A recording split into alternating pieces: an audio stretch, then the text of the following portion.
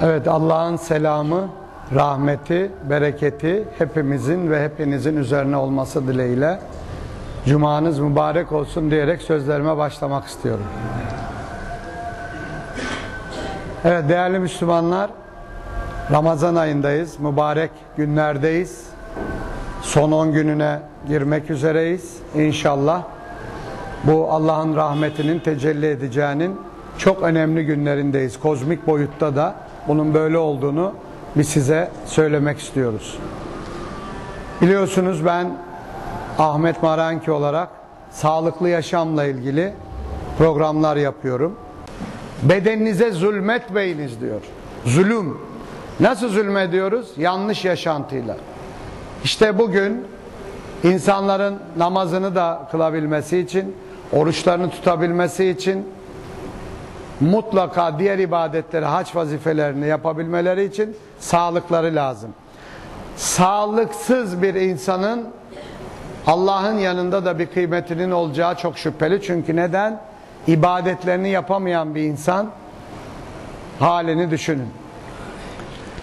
Programın sonuna doğru cemaat e, doldu ama yine de e, şey yapacağım, özetleyeceğim.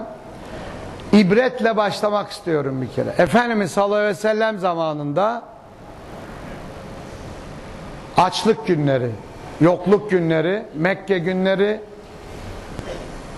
Yahudi hahamları geliyor. Bizler diyor bilim sahibiyiz. Sizde hastalık çok. Size bir hastahane kuralım. Gelsin Müslümanlar tedavi olsun. Bu kayıtlıdır söylediğim. Tabi diyor bir gün, iki gün, üç gün, beş gün. Ey Müslüman iyi dinleyin burayı bakın. Bir gün, iki gün, üç gün, beş gün hiç kimse gitmiyor hastaneye. Hağın başı geliyor. Niye diyor Müslümanları yollamıyorsun hastaneye? Tedavi edelim ücretsiz. Müslüman hastalanmaz ki diyor. Neden? Biz çok yemeyiz, az yemeyiz. Geç yemeyiz, erken yemeyiz. Sıcak yemeyiz, soğuk yemeyiz. Midemizin üçte birini su, üçte birini hava, üçte birini yemekle doldururuz. İşte hacamat yaptırırız, kan aldırırız, soyladan doymadan kalkarız gibi hükümleri sürünce pılı pırtıyı topluyor Yahudiler gidiyor. 1400 yıl önceki hali bu Müslümanın. Oruç çok önemli. Oruçla ilgili birkaç tane size burada gördüğünüz gibi oruç tutunun sıhhat bulunuz. Mesela neyle açalım? Su, hurmayla açın diyor. Neden? Tuzla açın, suyla açın diyor. Bunun hikmetini bilen var mı? Yok. E öyle demişler. Niye demişler? Bakın Türkler Anadolu insanı maturididir. Nedir? Araştırıcıdır. Bir de eşari mantık vardır bizim mezheplerimizde. Bu çok önemli. Biz araştırdık. Neden hurmayla açmış? Çünkü hurmayı yediğinizde ormanda 12 ile 16 tane amino asit lazım olan her şey var. Açlık günlerinde Mekke'de 3 ay insanlar hurmayla hayatlarını yürütmüşlerdi. Siz siz olun, orucunuzu hurmayla açın veya tatlınızı yemekten önce yiyerek kan şekerinizi düzenlediğinizde bakın artık o geri kalan yemekleri yemeye ihtiyaç duymayacaksınız. İşte Efendimiz sallallahu aleyhi ve sellemin buradaki bilimsel izahı Allahul alem bu olsa gerek. Hurma tatlılarınızı demek ki oruçta mutlaka yemekten önce yiyeceksiniz. Tabi hangi tatlıları? Sadece tereyağla yapılmış tatlılarınızı yiyeceksiniz. O sıvı yağları yediğinizde midenizdeki yanmalar vesaireler başlar. Helikobakter dediğimiz bir bakteri var. Bunu tespit edildiğinde gaz, şişkinlik, reflü ötesi de kanserdir. Bu noktaya gidersiniz. Ama kainat eczanesinde Allah bir tane kişniş ve meyan köküyle bunu kökünden çözmenin yolunu bize göstermiş. Ama tonlarca hap kullansanız bunun çözümü bugün maalesef mümkün değil. Neden? Çünkü beden bunları tanımıyor. Evet. Onun için Ramazan'da akşam iftarımızı Efendimiz sallallahu aleyhi ve sellem söylediği gibi hurmayla, tatlıyla açacağız. Önce yiyeceğiz yemekten.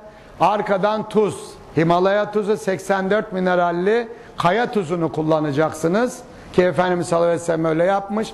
Su içinde Gördüğünüz 74 firmadan 5 tanesi sağlam çıktı. Peki hanginiz sordunuz bir yere gidip de ne oldu bizim yediğimiz içtiğimiz suları kim soracak şimdi? Zehirlendik. Suların üstüne okuyun. 7 onda 3 yazıyor. pH. pH'sı 7 onda 3'ün üstündeyse size şifa verir. Onun altındaysa hastalanırsınız. Asitiktir bakın. İşte dünyanın en güçlü suyu zemzemdir. pH'sı 14'tür. Oruç tut sıhhat bul. Ama yapılan istatistikler şunu gösteriyor. Ramazan ayında hastalıklar %26 artmış. E buyurun şimdi ne oldu şifa? Demek ki biz orucu da iyi tutamıyoruz. Bunun için yapılacak çok önemli. Orucun bilimsel manadaki izahı da şu. Aç kaldığınızda beden 15 saate kadar yakın 10 saate içerideki zararlı bakteriler faydalı bakteriler var. Virüsler, mantarlar bunun faydalıları zararlıları var. O faydalılar aç kaldığı için zararlıları yiyor içeride. Dolayısıyla bedeninizde temizleme yapıyor. Sahur içinde mutlaka yaz ayları sıcak aylardır. Bedeni soğutucu bitkiler yiyeceksiniz. Nedir soğutucu bitkiler? Karpuz, kavun, erik gibi, üzüm gibi bunları yiyeceksiniz. Domates, salatalık gibi. Et yiyip böyle efendime söyleyeyim fasulye gibi böyle şeyleri yemeniz doğru değil. Kalbi, kalp ateştir. Ateşi soğutmak için su lazım. Yoksa enfarktüs geçirirsiniz. Bunların da hepsi Tabip İbni Şerif'te, Yadigar'da, Fittül Tıp'ta eskimez kitapların hepsinde kayıt var. Fakat bunların hiçbirinden bugün hiçbir sağlık sektöründe söz edilmediğini de söylemek istiyorum. Onun için sahurda sulu şeyler yiyin, bol su tüketin, yeşil çay ve meyve çayları için akşamleyin de dediğim gibi iftarınızı tatlıyla, tuzla ve suyla açın. Arkadan yemekleri karıştırmayın. Yemeğin üstüne hemen etin üstüne bir künefe yerseniz etin üstüne şekeri dökün köpürecektir. Şişkinlik yapar. Üstüne bir de soda içtiğiniz zaman o gece uyuyamazsınız. Sabaha kadar boğuşursunuz. Zaten hayatımız böyle hocam. İşte Efendimizin sünnetullahında bunlar hep olmuş. Suyu da yemek arasında içmek doğru değil. Ya yemek öncesi ya yemekten sonra. Neden? Efendimiz sallallahu aleyhi ve sellem'in sünnetinde böyle. Çünkü eti hazmedecek asit diyelim 10. Sen hemen su içersen asitin oranını bozuyorsun. ikiye düşüyor. Eti parçalayamıyor. Sindirim zorluğu çekiyorsun. Kabuz oluyorsun. Basır oluyorsun. Pilav yedin. Yine su içtin. E, pilavın da şey düşük. Su her şeyi bozuyor içeride. Ama çok katı şeyler yediğinde hafif hoşaf kaşıkla yenebilir. Yemekten yarım saat önce, yarım saat sonra sularınızı içmeyi de ihmal etmeyin.